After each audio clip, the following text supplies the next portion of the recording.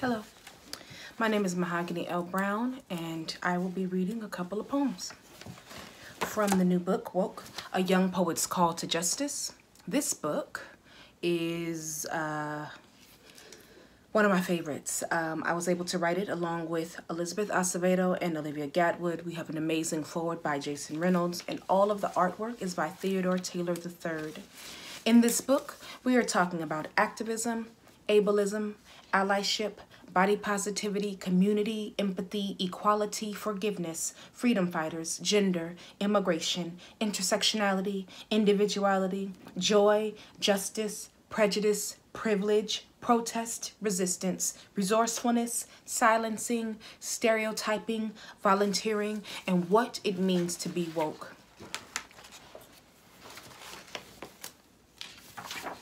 To be woke in the simplest sense, it means to be aware. It means to see your surroundings and challenge how we strengthen our relationships with the government, the community, and nature.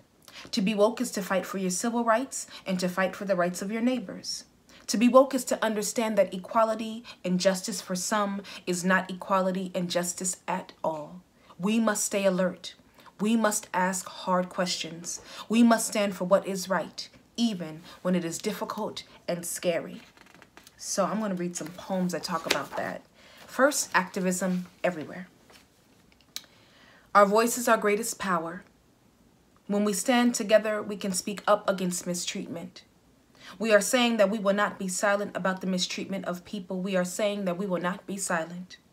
We are standing tall and firm. Because we believe in equity and equality, we are standing tall and firm. We are not yielding or bending the conversation. We are not yielding or bending because the conversation is uncomfortable. We are not yielding or bending. We understand activism happens online and offline, in the streets picketing and in the classroom teaching, on the blogs writing, on the internet sharing information. It happens everywhere. It is active, it is energy, it is resisting to be comfortable when we all have yet to feel safe and free. So, right, what does that mean? Activism can happen many ways, right? That means uh, we can share all the information that we have online, but also we can start uh, donating to funds that need assistance. We can volunteer in our neighborhoods. There's not just one way to show up as uh, an activist, all right? The next poem I'm going to read is The Ability to Be. The Ability to Be. And let me show you this photo really quick. I really love this photo. Right? So this one is talking about fighting ableism. Do you know what ableism is? Think about it. If you had an issue walking into a room um, because you couldn't reach a door handle or maybe there's a step and you have a hard time walking, um, how are you making sure that everyone can walk in the room with ease, with, ac with access, equal access, right? So this is about that. The ways in which our bodies may move against the wind or the water, climb stairs, or swing high in a child's park, both arms in flight, all on their own, is different. Sometimes we have sight, Sometimes we have the sense of smell. Sometimes we are working with a different set of skills altogether. There is more than one way to exist. There is more than one way we learn how to speak with our hands or our eyes. There are different tones to evoke a symphony of laughter. Our fingers and toes, our arms and torsos, each courageous cloud, a thunderous declaration echoing, I am here. Because the smallest things that make us up are the largest strokes of beauty that color us brilliant. But the heart, oh my, how our hearts beat the same. Mm. I like that one, right? Because we do, we do have different ways in which, you know, we walk into a space, we walk into a room, we're different people and not all things are the same. So what does it mean to really take into consideration um, others? Uh, not just how you get to walk in a room, but, but how your neighbor gets to walk into a room, how your fellow student gets to walk into a room. Um, this poem is about allyship. Do you know what allyship is? This is definitely right next to that poem, right? So when I'm saying uh, think about your neighbor, think about someone else, even if you don't have the same hardship. Um, maybe there's something that you notice uh, may not help someone that is in your you know in not just in your direct community but in your world. So how do you make sure we all have access? And allyship means that you stand up and you speak about equality. You speak about equity. You speak about what you need as a human and to assure that other people receive that too. And it's a beautiful picture of a bird the dove in the next. Things should be different we must keep our eyes on the prize. The prize is a good life. The good life smells like true freedom. True freedom is a song we should all be able to sing. It will happen in the hills of Appalachia. It will happen in the streets of Brooklyn. It will happen in the veins of Detroit. Discrimination will no longer be tolerated. Hate will have nowhere to hide. Powerful and meek, strong and brilliant, all of us combined as one. This is when the sky will break open its blue, blue wings, and we will celebrate its lush song. So word, now this is exactly what's going on right here, right now in our world today, right? You see the protests, you see the rallies. Um, people are speaking up because they understand that just because I'm not the one that's uh, directly affected doesn't mean I'm not affected by you being inhumane to my my brothers and my sisters and and, and that is in the kinship speak. Uh, it doesn't have to be a relation. It can be someone that is you know a neighbor. It can be a family member or not. It actually could just be because you know what is right. You know what we need to do to make sure that humanity um, grows stronger. And it's not just with one kind of person ever. Um, so what does it mean to say Black Lives Matter and show up to a protest to make sure that climate change is, you know, is real and all those things, all of those things uh, require allies. Um, I'm going to read a poem that myself and Olivia wrote um, about intersectionality, which I think is really, really necessary. Kimberly Crenshaw coined the term, and it's a very uh, in it's varied and and dense um, understanding of what intersectionality is or feminism is. Like that's what it was coined to discuss. But this is about uh, the, the building block, right? This is the foundation of how to start understanding what that is. What is an intersection? And this is by myself and Olivia Gatwood. An intersection is a place where things come together, like four cars waiting to go different directions at a stoplight. People intersect too, not just while moving down the street, but in who we are. Inside our bodies is a stoplight where our identities come together to make us a house of flamethrowers, to make us a river of living things. We all have multiple identities, you might be in a room full of girls, but no two are exactly alike. Classmate with nose ring and printed headband. Soccer player with flowing scarf and full smile. Student in library with brown skin and headphones. Skateboarder with hat to the back and book in hand. Swimmer with painted nails and crew cut. Dancer who says, only call me by my name. That's intersectionality. We all have different experiences of the world and we all have experiences we share.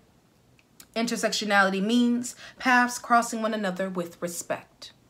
Intersectionality means moving with intentionality and acknowledgement of your surroundings. Intersectionality means we are all happening. We are all supporting each other. We are an ecosystem living and growing, depending on each other for survival, evolving, and becoming whole. Cool. So that's intersectionality. Yeah. Which is super helpful, right? Because you think, oh, well, I mean, all girls like this, or all boys like this, or all people from this area like this, and that's not what it is, right? There's we we are not one person. Each of us have our own dreams and goals and ideas, um, and that is that is really the most important thing for us to all not just be grouped in a box and, and mistreated or, or spoken for or ignored. You know where I'm going. Um, this poem that I'm going to share have so many favorites. It's an entire anthology. I'm really excited that you all should be getting your copy. Um, but this one is by uh, Elizabeth Acevedo. And it is about body positivity. Have you ever woke up and looked in the mirror and thought, ugh, the pimple or I want my hair to do something different or right? We have all these things that we really put on ourselves before we even walk out the door. Um, so this is really about celebrating yourself the good body. You know your joints that bend and straighten? Your mouth and ears and eyes your limbs that lengthen as you reach for the earth or clouds? You know your hair that maybe coils upward stretching or falls straight down your back your body can be a jungle gym of movement. Your body can be a chapel of quietude. Your body can roll and grow like a long sentence. Your body can be like small, mighty punctuation. Your body can be encased in metal, adorned with wheels. It can need medicine and extra support. Sometimes your body can make you angry or sad because it doesn't look how you want it to, or it doesn't do what you'd like it to, because it might have limits that you want to move beyond. But remember, even on the days you aren't feeling yourself, your body is always a good body because it carries the good in you. And I'll show you that picture. Check that out, right? Those moments where you doubt yourself, don't. Stop it right now. You are fresh, you are fly. Um, and speaking of Fresh and Fly, I think I want to read this one. I don't get to read it often, but it's about individuality. Do you consider yourself unique? Do you consider yourself weird and strange? If so, good. Keep all those things. Teeth dance with silver. Eliza is dressed uniquely like a mannequin from three different stores.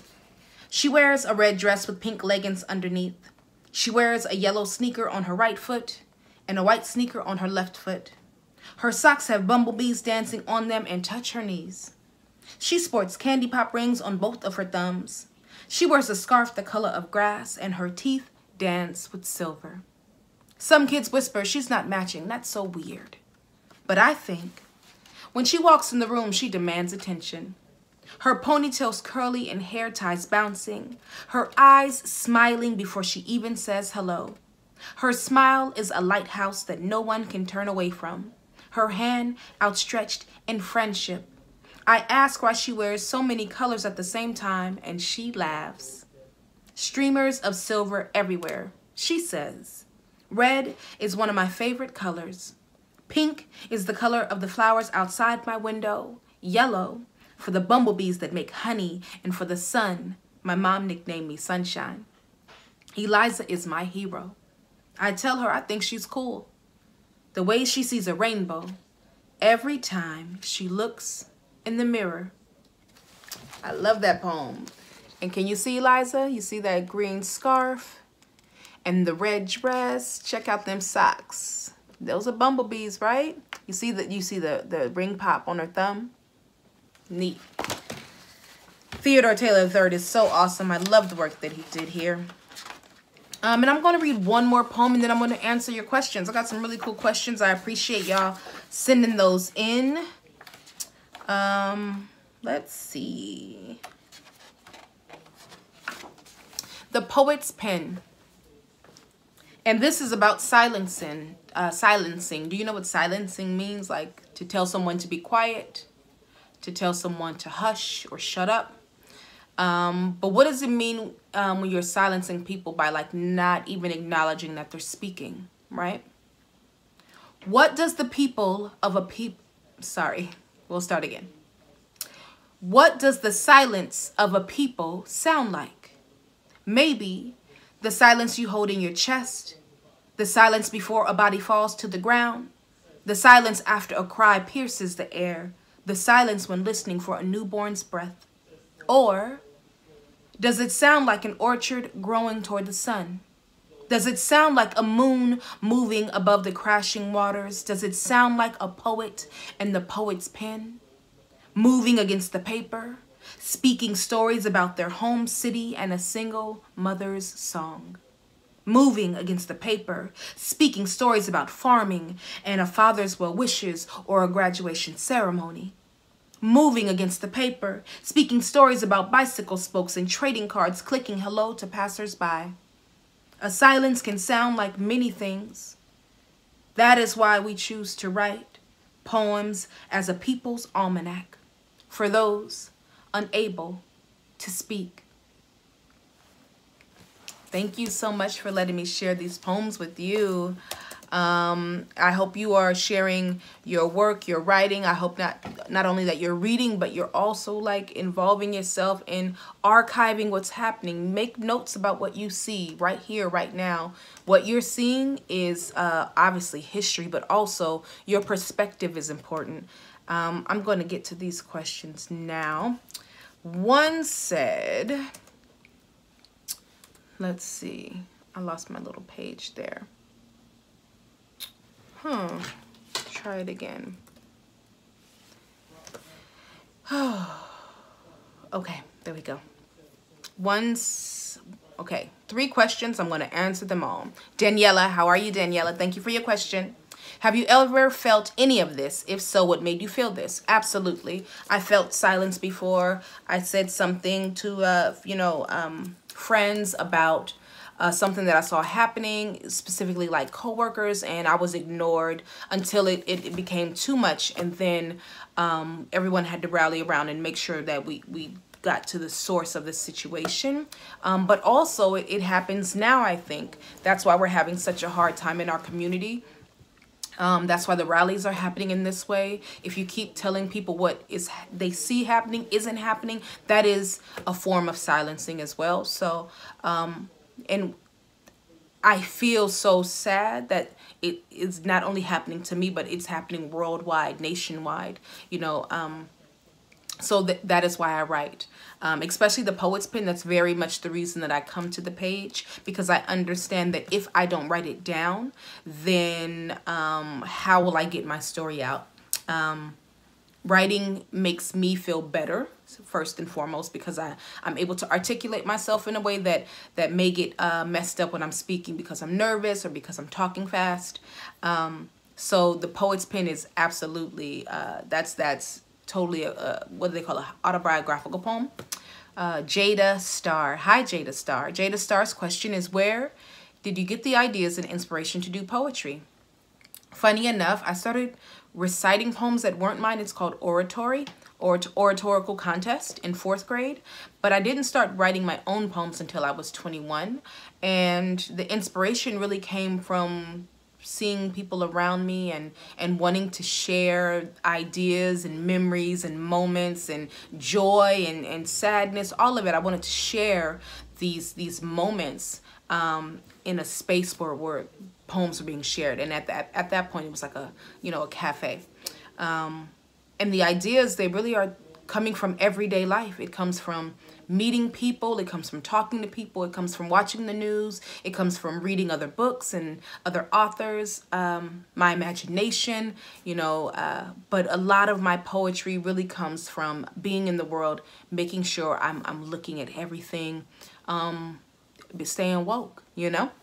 Uh, and finally, Fiona. Hi, Fiona. Fiona says, what is your favorite food? Such a good question. I think lasagna, it's like between lasagna and like steamed seafood, like uh, Cajun, uh, Old Bay and butter and oh, those are my two favorites. It's a tie. It's a tie. I don't know which one yet. Um, but lasagna is really good. Lasagna was very good. I'm, you actually just made me very hungry just now. Okay, I'm going to end with a poem, a small one, Woke. And I'll show you. See that? Yeah. Oh, and there's pictures of me, Olivia, and Elizabeth. Okay, Woke. You ready? We are awake, wide in our understanding of what is so pretty and shiny, of what is dull and dim in this world. But look here even wider between our outstretched arms, a brave and growing world. Look closely. Don't forget, we invited you here to live inside this truth, this freedom. We never sleep on what's at stake. Thank you so much I hope you enjoyed that reading. I can't wait to read poems that you are writing about being woke, being aware, seeing around you, uh, fighting for justice, and uh, what it means to be a global citizen. Welcome to the world of woke. I'm so excited to see you.